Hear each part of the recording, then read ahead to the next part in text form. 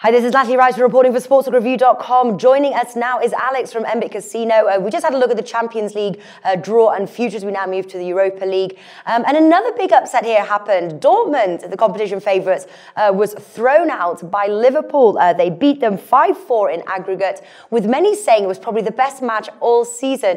What did you think of the match? And is Liverpool now the right favourites? And that's plus 184, 88 Sport.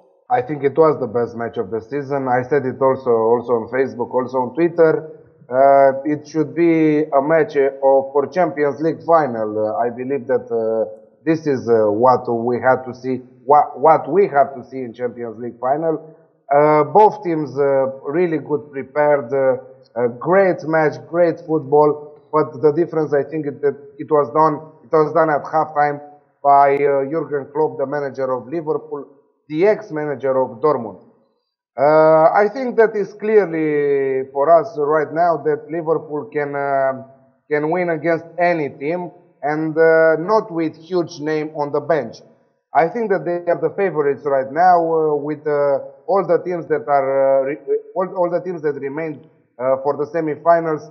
They are the, the, the favorites. Mm-hmm. All right, we've got two matches there taking place um, on Thursday, 28th. They are as follows: Shakhtar Donetsk versus Sevilla, and then uh, Villarreal versus Liverpool. Uh, who do you like in the first match there? Shakhtar Donetsk versus Sevilla. Who's going to win? Uh, I have two bets, uh, one bet for every match. Uh, neither of them are coming from the winners market.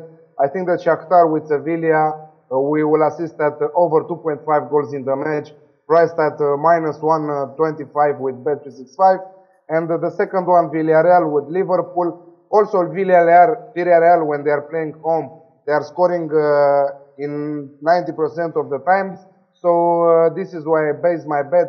Villarreal uh, versus Liverpool, teams to score at an odd of uh, minus, uh, 105 with Bet365 with Bet365. Okay, now we're going to run down um, through a few of the sort of the outrights here, the futures uh, that we've got available to us. Uh, first of all, is who will we see in the finals? Now, you don't sound as confident as you were with the Champions League. Are you confident on these results? One of them, I am really sure. I think that Liverpool, we will see them in the finals. Okay. Uh, but from the other match, uh, which uh, is between Shakhtar and Sevilla, even though everybody is saying that Sevilla are the favorites, uh, they will be the third time in a row in the final.